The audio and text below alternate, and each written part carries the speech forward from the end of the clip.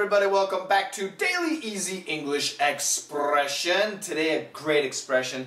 Sometimes you have something new, like a new magic marker. And usually with my old magic markers, the cap I can just boop, boop, boop. It's really easy. But sometimes with the new magic markers, oh, yeah, it has a pop. It's a little bit more difficult to open. Same thing with a bottle of wine. This is actually for cooking, cooking wine. Uh, and the first time you open it, uh, yeah, you, can you hear that? Anyway, sometimes you need a little extra power, okay? So, for example, the wife or the grandmother cannot open a jar and she asks her husband or her son to do something like that boom, and you, you, the man uses his power, boom, and opens the jar, opens the cork, opens the cap. Another idea is something's really dirty, and, and you do this, and it's just not working. You have to put in a lot of sweat, you gotta push really hard, and oh, it takes lots of energy. In this situation, that power we are using is called elbow grease. Yeah, I know, elbow grease. So usually in America, when we say grease, we think of like greasy food like chicken, or we think about a car or a bicycle chain, the grease, the dirty oil, that, that type of thing. Well, it's the idea. Elbow grease, this is your elbow, and it means elbow power. That's what it means. Why we say grease I don't know. Maybe because after we use our power, it's easy, it moves easy, like there's grease. Maybe that's the idea. Anyway, it's a great expression. Elbow grease. Check out the dialogue. Oh, I can't get this jar open. Here. Uh.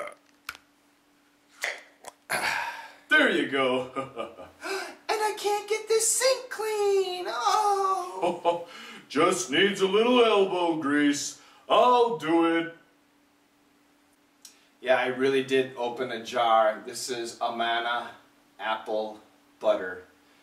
Old-fashioned flavor, apple butter. Yeah, I haven't had it. I'm excited. I'm going to be trying some of this. Uh, this is a mason jar. So yeah, uh, sometimes to open a jar, you need elbow grease. Sometimes to clean the, the kitchen floor or the kitchen sink or maybe the shower, the shower room, the shower floors, you need some elbow grease. You need that extra power. And once again, elbow grease means strong, powerful hands, strong, powerful wrists, strong, powerful, powerful arms, elbow grease. That's what we say. When is the last time you needed some elbow grease? Me? I'm not joking. When I opened this, I needed a little bit of elbow grease. I'm sure my grandmother might have had a hard time opening this, but me? I'm super powerful. I have lots of elbow grease. Once again, when's the last time you needed some elbow grease. Leave a message down below. Elbow grease, it's a great expression, and I'll see you guys tomorrow. Bye-bye. Oh, I can't get this jar open. Here. Uh. there you go. and I can't get this sink clean. Oh. Just needs a little elbow grease. I'll do it.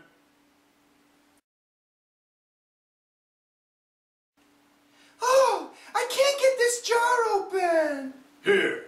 Uh. there you go. and I can't get this sink clean. Oh. Just needs a little elbow grease. I'll do it.